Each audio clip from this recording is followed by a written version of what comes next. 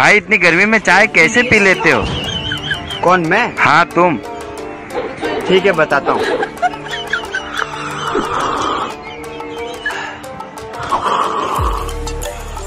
ऐसे।